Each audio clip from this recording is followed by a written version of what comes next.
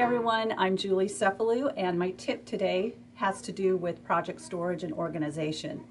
I love to use the art bins that you'll find at the craft stores or your quilt shop and I've got one down here that I use and it's perfect for holding the blocks for a block of the month project so anything that's a 12 and a half inch block or smaller can fit right in here just perfectly.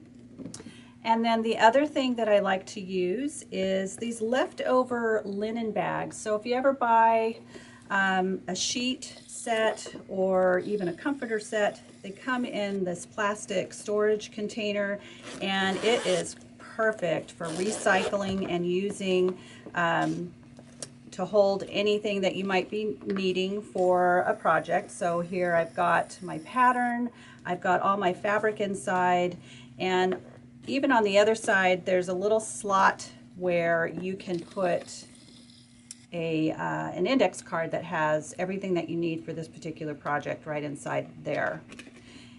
And another item that I like to use is right over here.